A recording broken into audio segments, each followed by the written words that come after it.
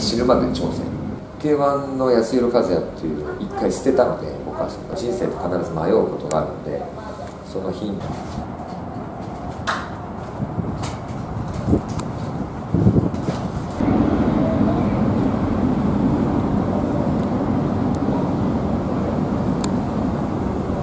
はいこれが4年番センター正面で押すはい死んでで押すはいお互いでお願いします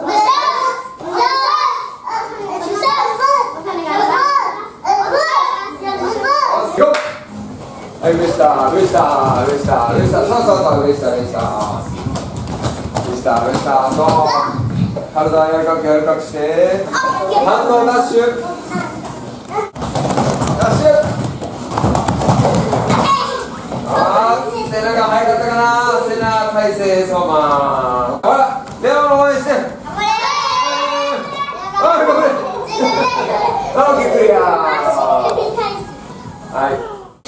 一番苦手な自己分析の質問から来ましたね。長所。おおらかなところですかね。はい。で短所は、えー逆にまたおおらかなところ。座右の銘。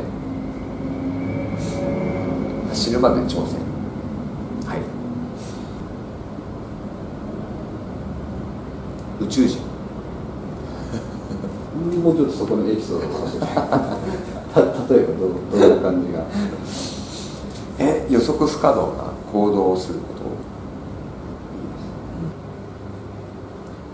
基本的には誰に対しても同じ接し方をしてるんですけどその対象が子供に話しかけてるような気持ちですかね 全ての人に対して。やっぱイチロー選手とかサッカーのカズ選手とかにはあのやっぱりあそこまでの年齢であそこまで一戦でやり続けていたっていうところに単純にもう尊敬しかないなっていう。自分は K1 の試合最後31で中国で試合したのが32が公式戦最後なのでやっぱり一戦であそこの年齢までやり続けてる。まあ一郎選手は今日昨日一戦を退くってお話でしたけどもやっぱりそういうところですかね、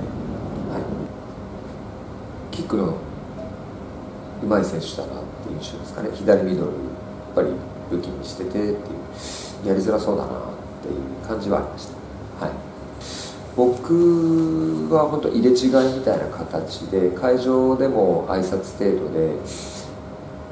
僕が現役を離れてから後楽園ホールでばったり「あ日向選手」って感じでお会いしてで日向君から「あ改めまして」って言ってこう挨拶をしてきてくれたっていうのが 印象にすごい残ってます。はい、まあ、シンプルにいつまでやり続けれるか、まあ、い何歳まで続けますかっていうのを聞いてみたいですけ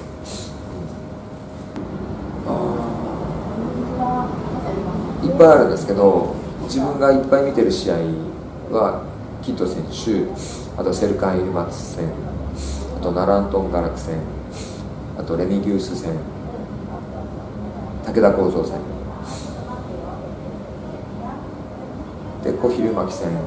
が一番多く自分で見てるかもしれないですはい、まあ、後半ですかね。2006 2007 2005年の時に世界3位になったんですけどその後がちょっと精神的にあまりうまくできてなかったですかね。なんとなくですけど、まあ、当時はやっぱり世界チャンピオンを目指していたので世界チャンピオンになりたいと思ってたしなると思ってたんですけどいろいろいろいろな状況が、まあ、変わったりあってこうその世界チャンピオン一つに集中しきれなかったっていうのがあったと思いますあ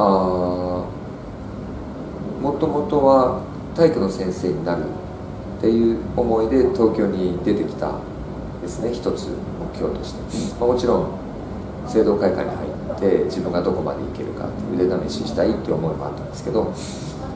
当時は体育の先生やってみたかったっていう思いあったので選手辞めたらやるつもりでした。はい。そういうキャリアを描かれてたんですね。そうですね。なので浪人して日体大に行ってで大学行って、まあ、教員免許取ってっていうところまでやっていました。はいなんかそれは今までこう例えば木山さんテレビに出てた、こうスポットライトを浴びる生活とは全然違うことだと思うんですけど、はい。そうですね。周りからの扱われ方とかも、えそこでのギャップみたいなのって特に感じなかったですか？うーんギャップっていうよりは k 1の安弘和也っていうのを一回捨てたので僕はそこでで頭坊主にして丸めて体育の先生を一から先生としての実力が勝負なんで k 1ファイターっていうのを全部捨てて自分の中で。だから一から始めたんでギャップっていうのは別に特になかったですかね、えー子供たちが大人になった時に何が必要かっていうところで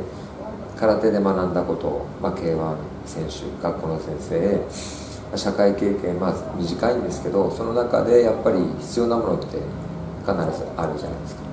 挨拶、え感謝とか、まあ、当たり前のことなんですけどそこを口酸っぱく言ってるかなって感じですか。礼に始まり礼に終わりじゃないんですけどその礼がない人はまあ認められないじゃないですか、うん。なので当たり前のことなんですけどまく世渡りする必要なうんこう道具ってわけじゃないんですけどまあ挨拶返事ができるというのは、スキルの一つなのかなっていうコミュニケーション能力。それはやっぱりもう人として生きていく上で必要不可欠なものなのでそれをちゃんとできることがやっぱりまず空手の技術を身につけるのにそれができないと身につかないのでなのでそこがスタートラインなのでそこをできるようにっていうのは学校でもそうだったし今でもやってることですかね。ただ単純に面白いからですかね。そっちの方が挑戦してた方が、うん。基本的には成長、昨日の自分よりも今日一日でも一日経った自分の方が成長してたいなっていう、まあ、だらけてしまう時もあるんですけど基本的には自分を高め続けていきたいなっていうことですかね。えっとですね、まあ、今回のお話しいただいたテーマが、まあ、来た道行く道じゃないんですけどお人生は選択の連続じゃないですか。なので僕がうん、まあ、高校生の頃だったり、まあ、高校生の頃に空手を始めて、まあ、出会ったんですけどその空手とのとの出会いであったりその空手と僕バドミントン当時やってたんですけどこう選択してこうどっちを選んだかとかっていう話とか、まあ、空手から、フルポンの新空手の方になんで挑戦したかとかその選択で自分はこういう方を選んできたっていうお話をさせていただいて何かこう人生って必ず迷うことがあるのでそのヒントになれるような話ができたらいいなとは思ってますけど。はい、はい、4月14日、えー、勇気の授業に登壇する安弘和也です、えー人生は選択の連続、えー僕が、えー選択してきた道をお話しさせていただけたらと思っています、えーぜひ、えー会場に来て話を聞きに来てください。押す。